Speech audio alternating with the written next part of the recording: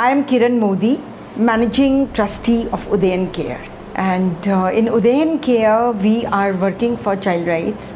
And uh, mainly, you know, we are looking at child protection as well as education.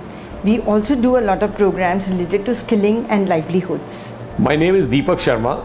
So last year I participated in the Airtel Delhi Half Marathon and uh, I took upon myself to raise funds for Udayan Care because as I uh, see that fundraising is an important activity for sustainability of any organization.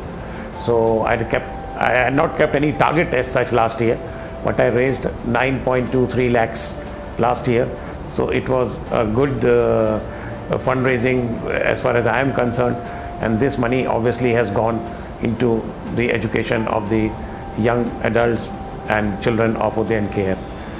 Again, this year I have taken upon myself to raise another 5 lakhs uh, for uh, in the ADHM 2017 where I am again running and participating in the Great Delhi Run.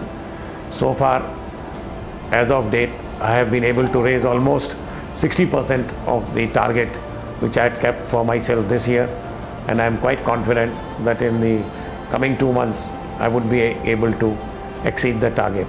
Again, through this, I would like to thank each one of my friends, relatives, acquaintances who have come forward and supported me in my cause of this joy of education.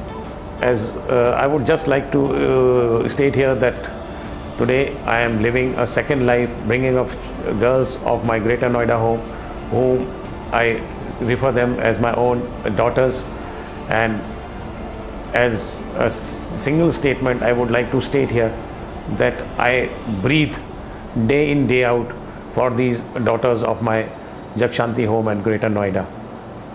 Through ADHM, we have been able to reach out minimum 6 to 10 percent of our total uh, organizational cost per annum and it is quite huge you know because uh, ADHM gives us a ready-made platform we don't have to do anything to organize the fundraiser.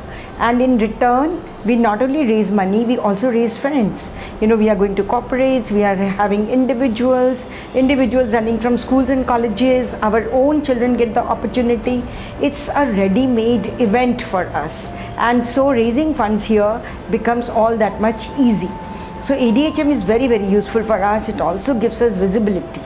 We've been running this campaign on joy of education for the last four or five years where we raise funds mainly from ADHM. So every single penny which will be collected from here will be supporting a child coming from a disadvantaged background to go for higher education.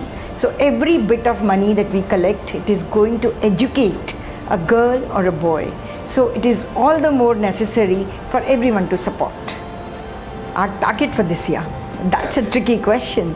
I, we will try our level best to reach at least 1 crore.